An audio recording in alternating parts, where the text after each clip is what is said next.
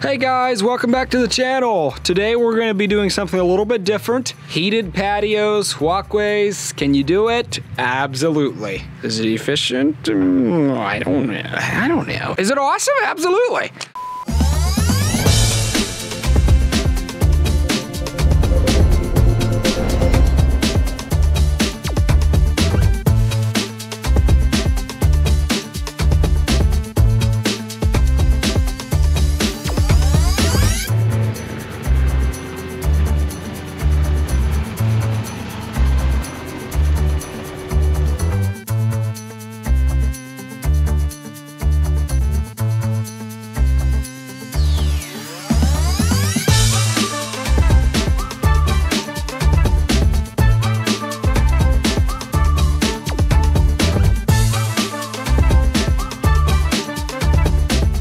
Here's how we persuade Big Steve to show up at our job sites. We tell him that we have big toys up here to run, and he's more than happy to show up for us.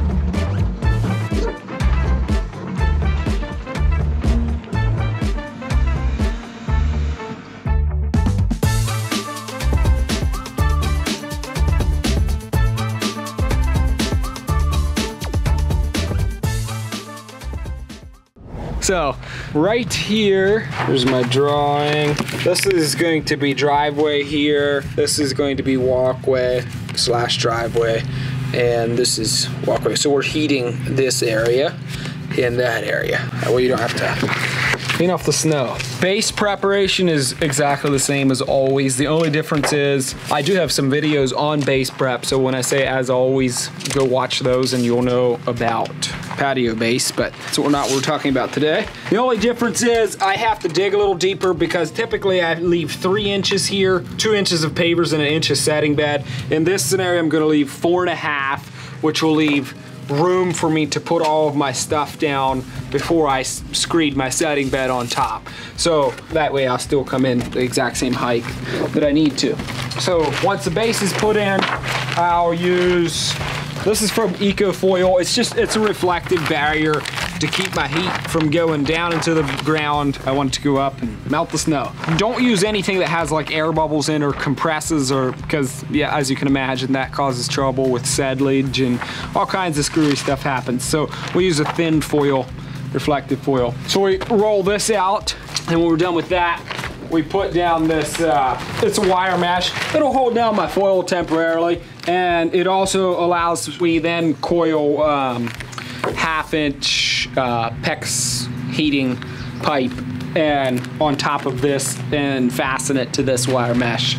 And then once that's down, we'll just screed our normal setting bed on top of there, which is going to be a little thicker than standard, obviously, because we're covering all of this, which means that edging uh, you're gonna have to use a different kind of edging because instead of having an inch of setting bed, you're gonna have probably three inches of setting bed, which doesn't cause a problem. Uh, we've done this before on a couple of different projects, but you just have to um, use like uh, concrete, a reinforced concrete edging, like perma edge or something like that.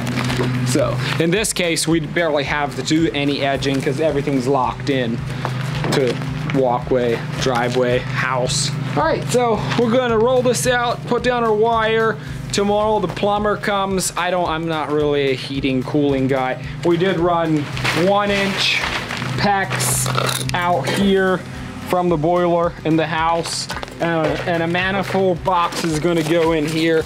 Gonna run these two one inch lines into here and then run um, half inch PEX from there to coil on top. And I think the plumber said that they're like, they don't run water through it. It's like 90% antifreeze or something. It won't freeze and stuff. And there's a sensor mounted out here that when it like senses a snowflake or senses snowfall, then it turns it on. So it's not like it's running all winter. I'm not very knowledgeable on all the plumber things. I just know how to put in this stuff. but in the meantime, let's start prepping for him.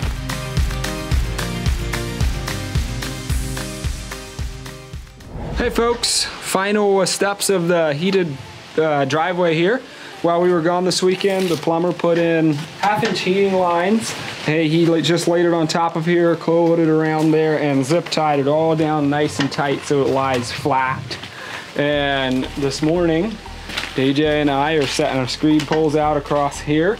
And we have about a half an inch extra room on top of everything, which is really nice because if you get this too high, it's a real pain in the neck because the heating lines want to pop out of your setting bed and it's a real fiasco. But I have like a half inch space on top of the heating lines. Like I said, I figured four and a half inches from the base up to the top to get this the where we need to go. Now the final result there is all, all screeded out nice and level and we're ready to lay pavers.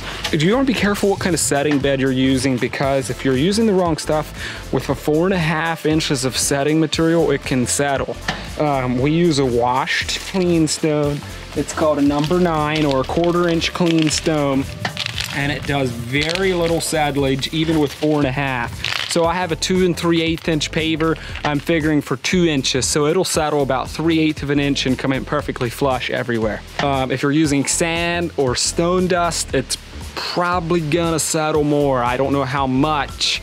So I'm, I'm not familiar with that. But if you're using a clean stone, a quarter inch clean stone or a 1B clean stone or a number nine clean stone, that's not gonna settle very much. With a two and three eighth inch paver, you should be good to figure two inches, three eighth of an inch of settlage across there after you run your vibra plate across. Now, before we screeded this setting material, the plumber pressurized these lines because they do expand a little bit and I didn't want to do that after. So as you can see, he has it pressurized to like 60 PSI. So these lines are pressurized. That way they'll expand a little bit and they're not gonna move after that. This is where the manifold's coming in. This, these are the feeds coming from the boiler and we're gonna put a box in right here for all the plumbing lines. That way you can access the valves and everything out here. So there we go. Pretty, it's actually pretty easy. Probably the install cost isn't much higher. There's more, it's gonna be higher obviously because there's plumbing and stuff, but it's actually not that in such a, an intense process to make it heated. It just, it costs a good bit to heat it once it's snowing. We're gonna screed this out and hopefully get it laid in today.